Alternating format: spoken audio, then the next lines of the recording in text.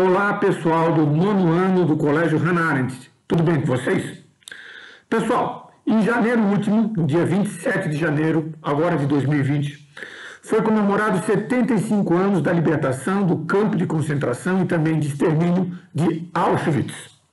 O que, que era Auschwitz? Era um campo onde havia muito trabalho escravo e, principalmente, extermínio, ou seja, genocídio, matança de pessoas, através do quê? Através das chamadas câmaras de gás. E quem eram as principais vítimas?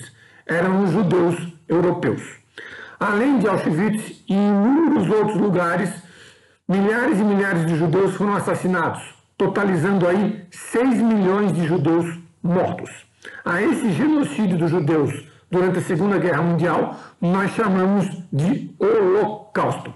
Se bem que vale lembrar que a perseguição aos judeus não começou só na Segunda Guerra. Desde que Hitler tomou o poder em 1933, os alemães, os alemães nazistas já começaram a perseguir os judeus. E essa perseguição se intensificou a partir de 1939, quando a guerra efetivamente começou, quando a Segunda Guerra Mundial efetivamente começou.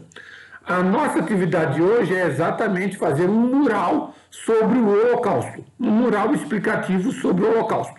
Como é que vai ser feito esse mural? Vocês vão escolher cinco acontecimentos ou cinco eventos relativos ao Holocausto. O Holocausto, pessoal, é um fenômeno histórico complexo.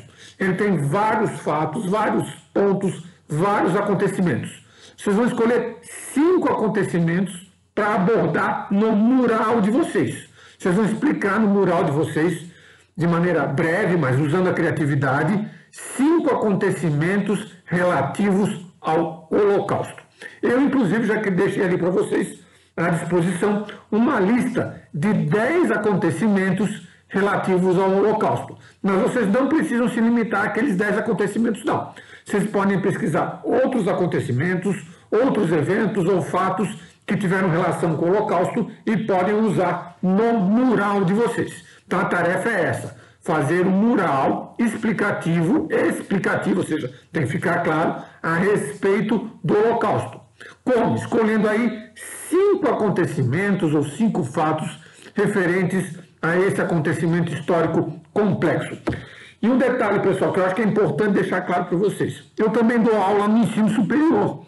E lá no ensino superior, de vez em quando chegam alunos que nunca ouviram falar no Holocausto.